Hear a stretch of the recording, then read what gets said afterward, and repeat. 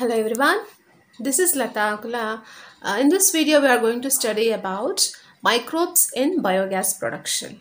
So, in the last video, we have studied about sewage treatment, where we have studied about how the sewage water is treated and the sludge formed in the sewage is treated in the anaerobic sludge digesters, right? Sludge digesters, we have studied that there are some methanogenic bacteria which will convert that solid matter into the biogas. And now we'll see about how the microbes involved in the biogas production. What is a biogas?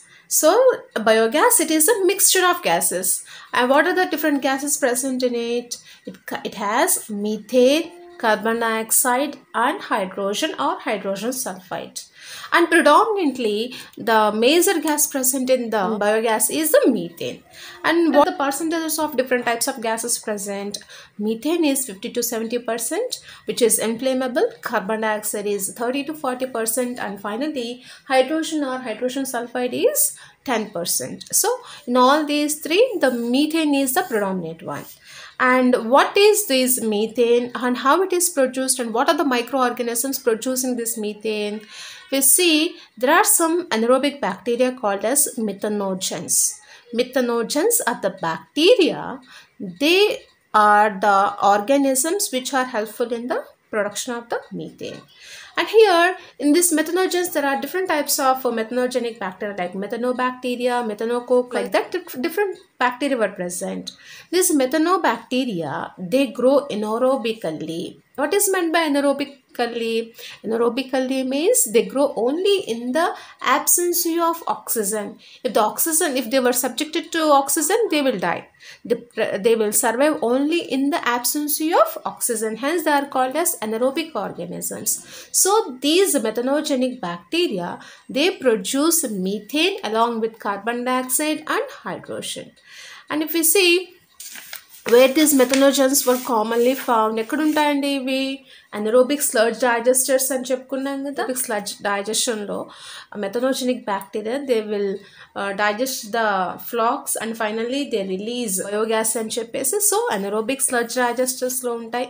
అలాగే they are present in the rumen of the cattle rumen of the cattle క్యాటల్స్లో మనకి rumen అనే ఒక pouch ఉంటుంది కదా దాని యొక్క digestive సిస్టంలో so దానిలో కూడా ఉంటుంది. అండ్ ఇక్కడ మనకి ఎనరోబిక్ స్లర్జ్ డైజెస్టర్స్లో ఏం చేస్తూ ఉంటుంది ఇది?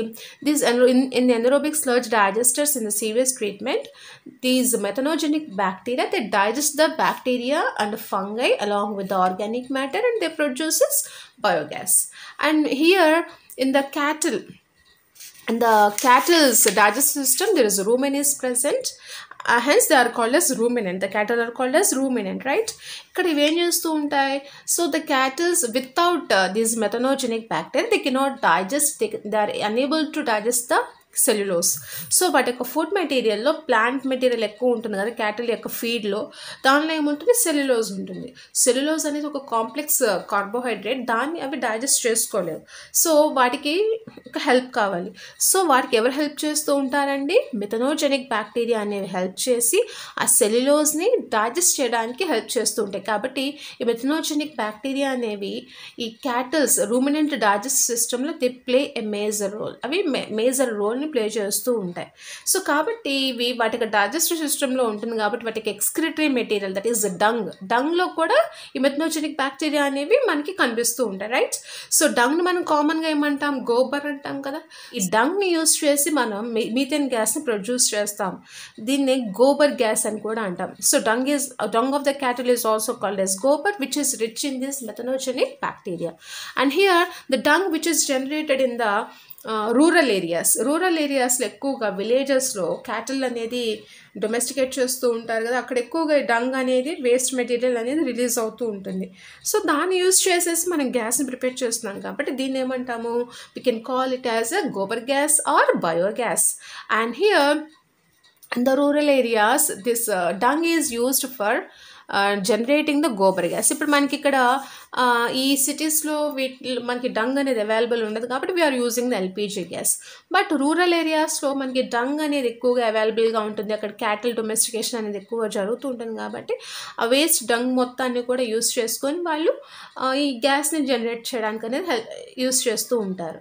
సో దాన్ని ఆ ఫైనల్గా వచ్చినటువంటి ఆ గ్యాస్ని ఏం చేస్తూ ఉంటారు? They use that gas for cooking and also lightning purpose and this technology of biogas production in India was due to the efforts of IARI and KVIC so ఎవరి ఎఫర్ట్ వల్ల మన ఇండియాలో ఈ బయోగ్యాస్ గురించి మనకి ఎక్కువగా టెక్నాలజీ అనేది అందరికీ తెలిసిందంటే because of Indian agriculture research institute and Khadi and village industries commission వీళ్ళ యొక్క ఎఫర్ట్స్ వల్ల మాత్రమే మన ఇండియాలో వీటి యొక్క బయోగ్యాస్ ప్లాంట్స్ uh, యొక్క డెవలప్మెంట్ అనేది జరిగింది.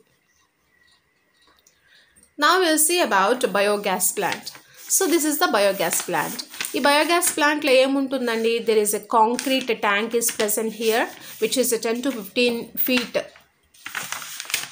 so see this this is the concrete tank which is ten to fifteen feet in length and ఇక్కడ ఏం చేస్తూ ఉంటాము? The bio waste which whatever the bio waste generated in the in their rural areas that was collected and that is mixed with water and make into a slurry. So ఇక్కడ ఏం చేస్తారు? Dung water ఇంకా other waste material అంతా కూడా ఏం చేస్తూ ఉంటారంటే ఒక ఇన్లెట్ ద్వారా దాన్ని ఈ కాంక్రీట్ ట్యాంక్లోకి సెండ్ చేస్తూ ఉంటారు. దాని మొత్తాన్ని వాటర్ మిక్స్ చేసి దాన్ని ఒక స్లర్రీ లాగా తయారు చేసేసి కాంక్రీట్ ట్యాంక్లోకి రిలీజ్ చేస్తాం. అండ్ ఇక్కడ ఏమవుతుంది? Because of the activity of methanogenic bacteria methanogenic bacteria ఏం చేస్తుంటాయి they digest the they they digest this gobar or dung and finally they release methane gas right so methane గ్యాస్ని produce చేస్తూ ఉంటుంది and about this concrete tank there is a floating cover is placed over this slurry. Uh, whenever the methanogenic bacteria they release the methane, this floating cover will rises. So ఇది పైకి లేస్తూ ఉంటుంది.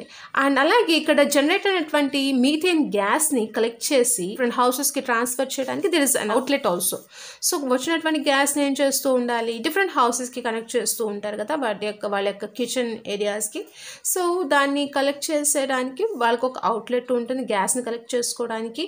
అలాగే ఇక్కడ మనకి spent out slurry ఉంటుంది కదా so once we used slurry one batch one batch of slurry అయిపోయిన తర్వాత దాన్ని రిమూవ్ చేసి మళ్ళీ నెక్స్ట్ బ్యాచ్ అనేది యాడ్ చేయాలి.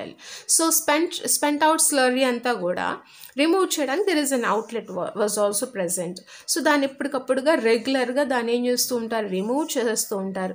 అండ్ యూస్ చేసినటువంటి ఈ స్పెంట్ స్లరీని దాని స్లర్జ్ అంటాం కదా ఆ స్లర్జ్ని ఏం చేస్తూ ఉంటారు? That was used in the fields ఫీల్డ్స్లో దాని యొక్క ఫర్టిలైజర్గా యూస్ చేస్తుంటారు ఇన్స్టెడ్ ఆఫ్ కెమికల్ ఫర్టిలైజర్ దాన్ని ఆ ఫీల్డ్స్లో దాని యొక్క ఫర్టిలైజర్గా యూస్ చేస్తుంటారు అంటే ఎరువుగా వేస్తుంటారు మొక్కలకి యొక్క గ్రోత్ ఎన్హాన్స్ చేయడానికి and this biogas can be used for cooking and lightning purpose and this is mostly seen in the rural areas where uh, dung is mostly available right hence in the rural areas most oftenly these biogas plants were built this is about the biogas plant